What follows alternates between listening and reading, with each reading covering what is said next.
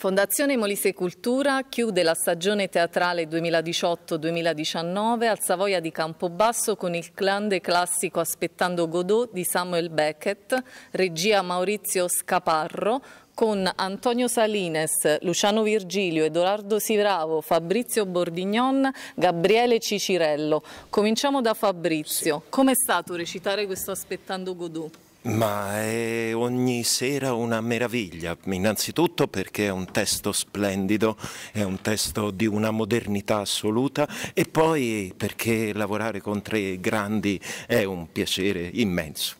Benissimo, Antonio, è ancora attuale recitare testi classici come Aspettando Godot? Sì, intanto i testi classici sono sempre attuali in tutti i sensi. Questo qua, devo dire, questo Aspettando Godot forse è più attuale oggi che quando è stato scritto, un testo sempre veramente rivoluzionario, un testo questa edizione che emoziona e fa ridere.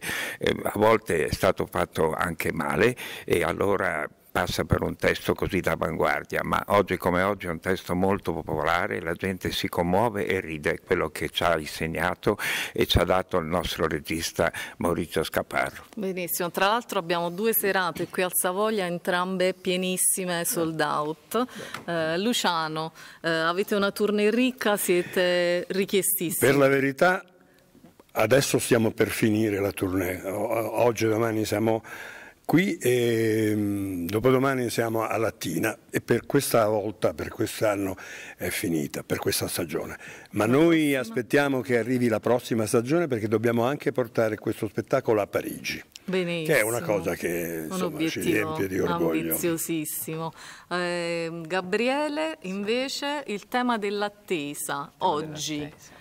Ah, che dire, in un periodo così frenetico l'attesa è importante perché ci si sofferma a conoscere la gente, cosa che ormai è difficile perché siamo sempre attaccati al cellulare e pensiamo anche che questa lunga attesa sì. che ci propone Aspettando Godot è, è, ricca di poesia e quindi meglio aspettare e ascoltare e vedere. E ci piace. E, ci piace, molto. Ci piace molto.